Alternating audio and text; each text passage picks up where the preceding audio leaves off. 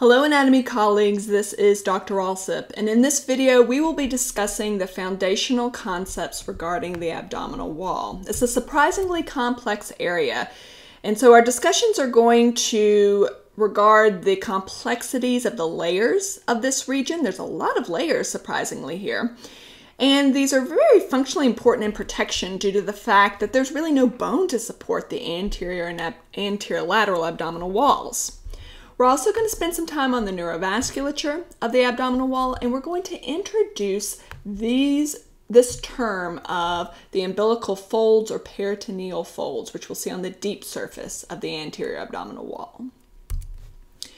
So there's two major walls here that we're going to talk about. There's the anterior and the an oops, anterior lateral. And we'll start with anterior lateral just because it's a little bit more complex there.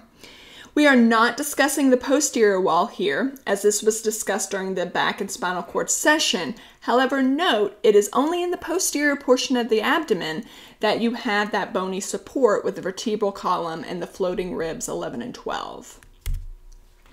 So let's start on the sides, or what we like to refer to as the anterior lateral abdominal wall.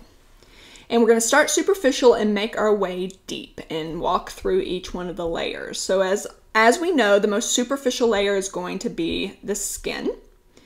And then, as always, deep to the skin, we will have the superficial fascia. And the superficial fascia is variable amongst individuals. The deep deep to the umbilicus or inferior to the umbilicus is a bit more complex in this region with a mostly adipose uh, layer, but also a membranous portion. And this deep membranous portion is going to serve to better reinforce the portion of the wall which is lacking bony support. Now, next, we're going to have the muscular layers. And when we're talking the anterolateral wall, we're going to actually have three separate muscles, so three separate layers of muscle. And we typically kind of collapse these as talking about the oblique muscles um, due to the direction of their muscle uh, muscle fibers. But I want to note that the deepest muscle, the transversus abdominis, the, the muscle fibers are going to be directed more transversely or horizontally and not oblique.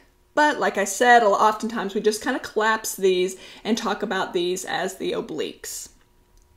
Now, the directions of the muscle fibers are really important. You think of kind of like um, layers of plywood that are kind of put together to really reinforce this region. And when these muscles contract, they may play a role in lateral flexion of the trunk. Think kind of moving your trunk to the side or like an oblique type of crunch. But most importantly, these muscles are important in overall maintenance of the tone of the abdomen. So that really plays a role in terms of protecting this region. Deep to these muscles are go is going to be the transversalis fascia. And really this is just the deep fascia of the transversus abdominis. But it will extend into the anterior region, so we want to make note of that. Next, you will have the extra peritoneal fat.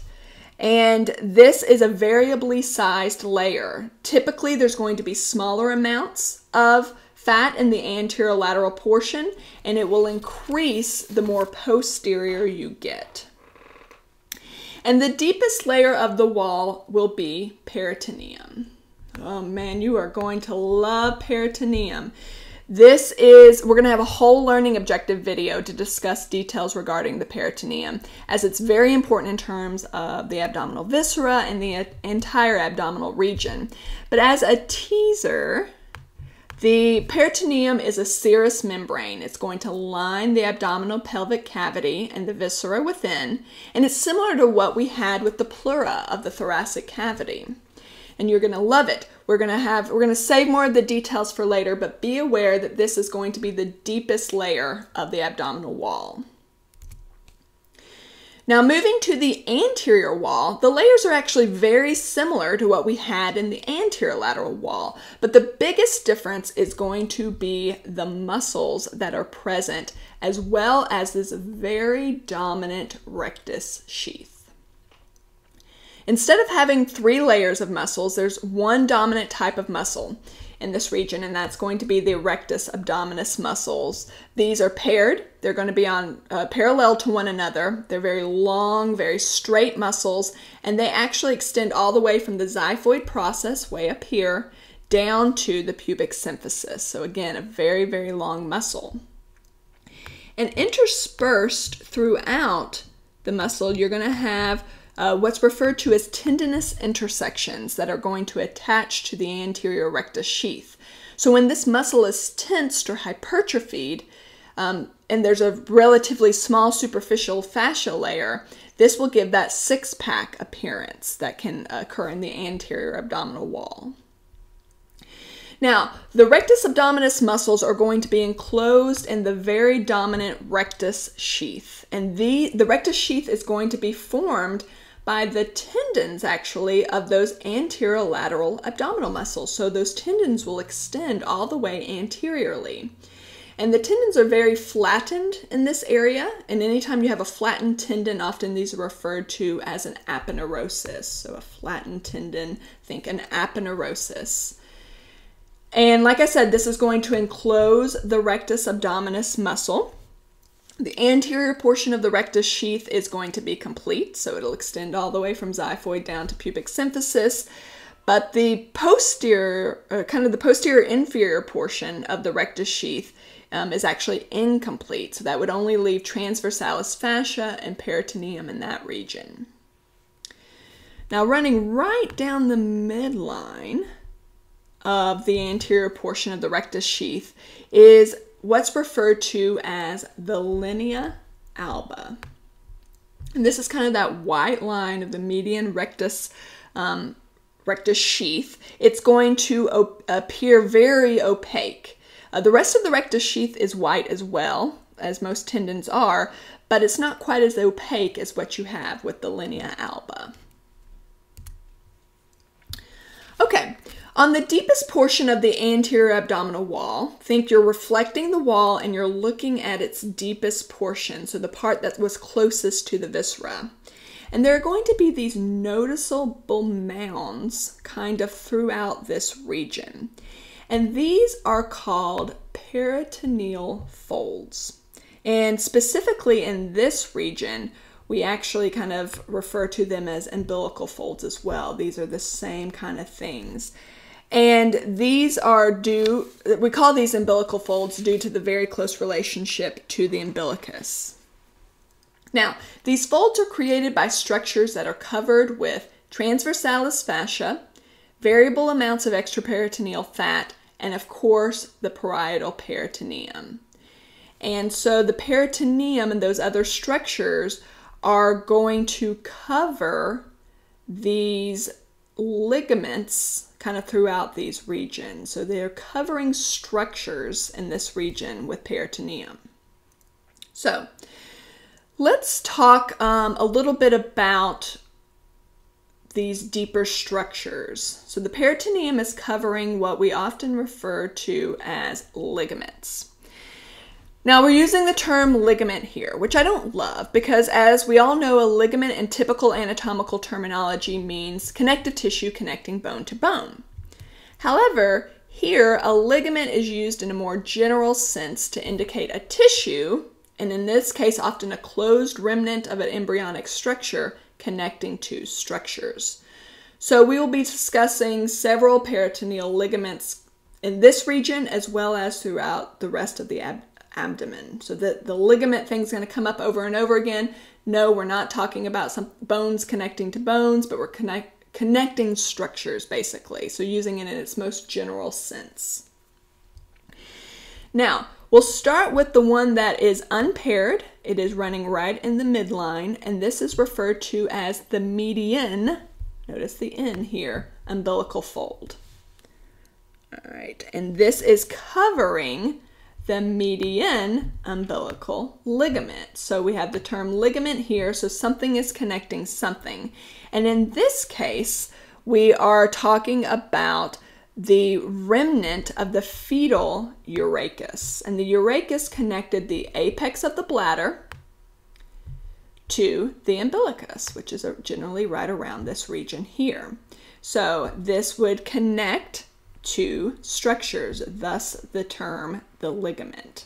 So the remnant of the urachus is kind of left over, and when you um, put peritoneum or lie peritoneum over this structure, it creates this median umbilical fold.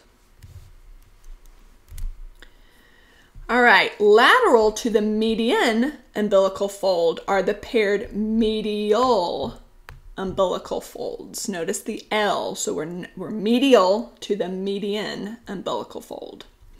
And these are separated from the median umbilical fold by the supravesical fossae, so basically just these depressions on either side of the fold.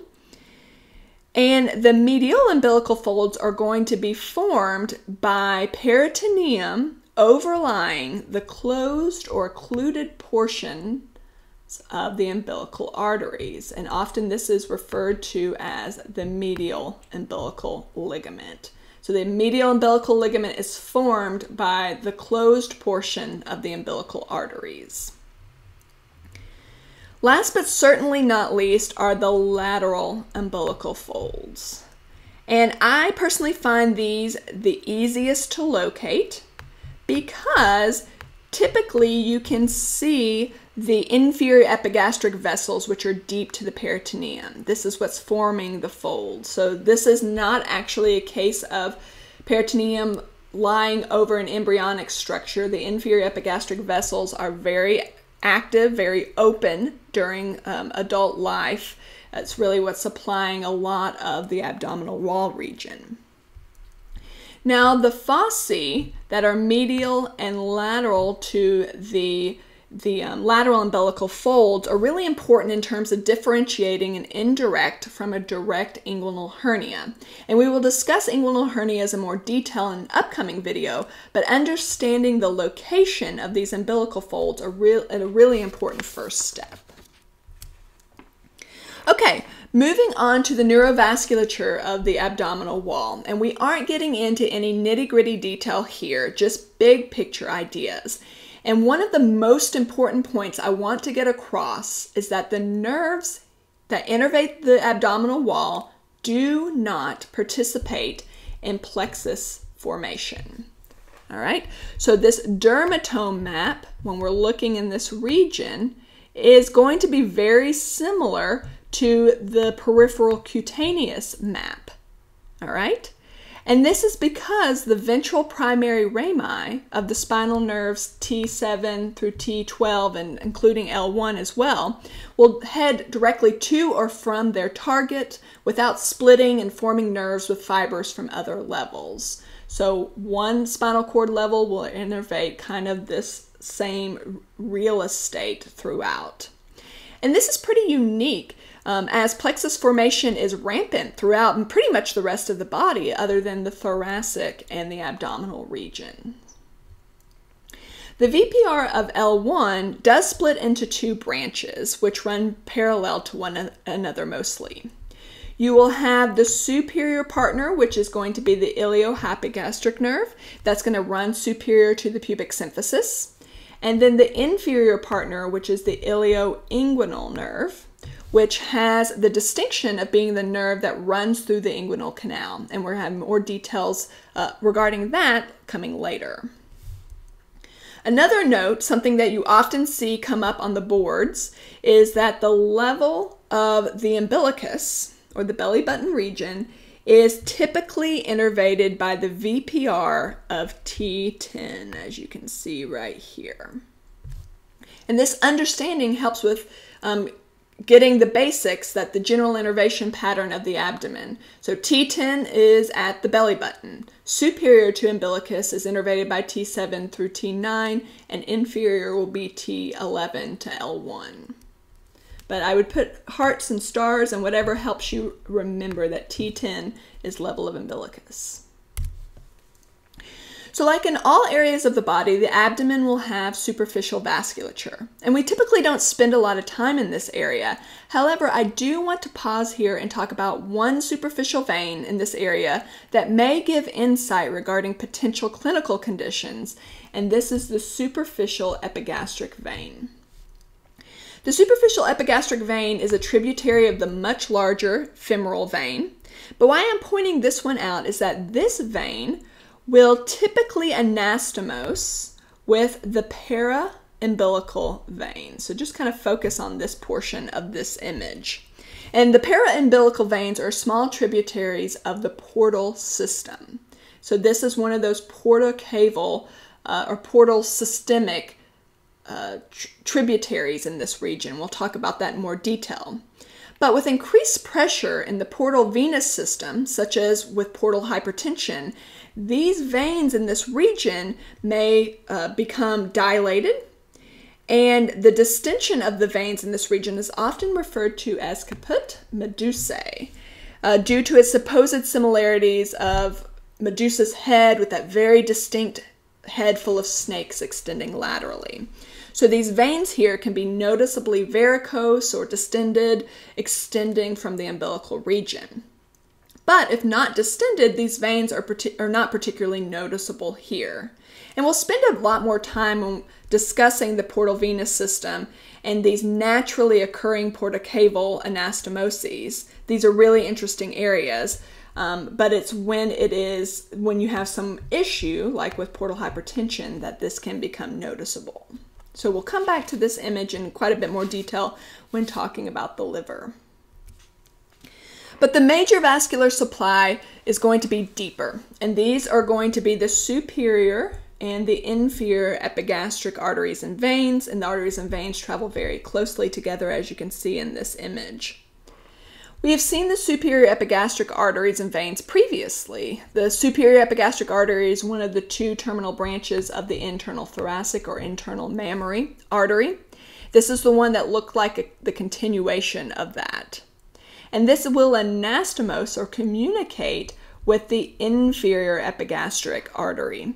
And really, it's the inferior epigastric artery that's the major supplier of blood to this region. This is going to be a branch of the external iliac. It branches off just superior to the inguinal ligament. So you'll have a communication of the inferior epigastric with the superior epigastric deep to the rectus abdominis. And this brings us to our summary slide. So a lot of big picture concepts here. Understanding the abdominal wall is vital to understanding the organization and visceral pain patterns of the deeper abdominal viscera. Additionally, being able to describe the layers of the abdominal wall will help to work through the complexities of abdominal incisions. So, take your time in this area, and please, as always, reach out with any questions. Have a great rest of your day.